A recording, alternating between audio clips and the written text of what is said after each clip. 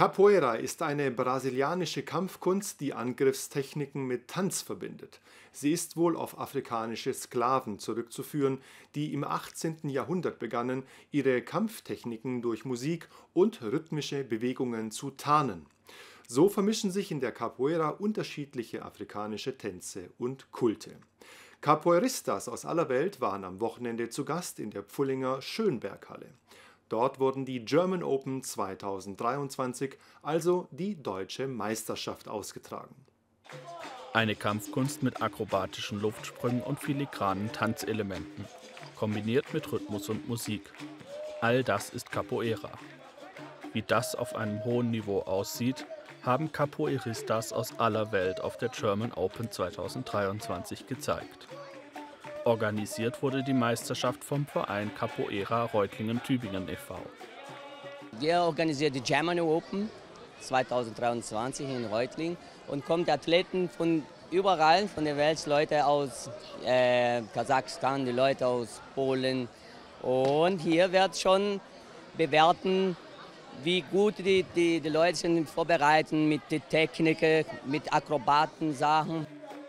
Rund 200 Teilnehmer stellten in der Pfullinger Schönberghalle ihr Können unter Beweis.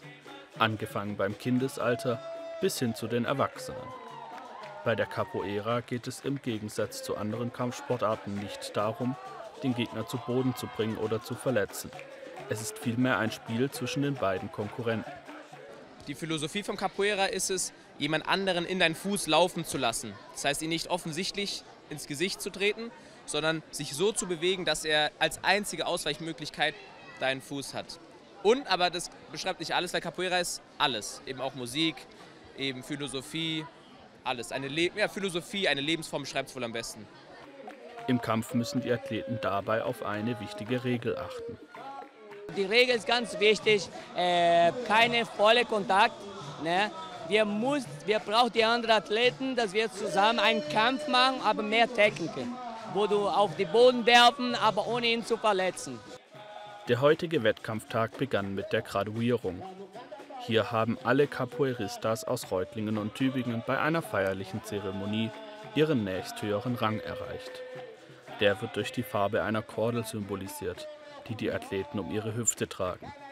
Das kennt man ja aus anderen Kampfkünsten oder Kampfsportarten, dass es ähm, gewisse Graduierungssysteme gibt und es gibt es im Capoeira auch. Da startet man als Anfänger mit der äh, weißen Kordel und steigt dann so langsam auf, bis man dann äh, auch ähm, Richtung Trainergraduierung geht. Das ist dann ähm, ungefähr die blaue Kordel und dann ähm, gibt man schon die ersten Stunden und dann geht es halt weiter, dass man irgendwann dann Instruktor, Professor und Meister wird und dann halt viel mehr Verantwortung in der Capoeira übernimmt.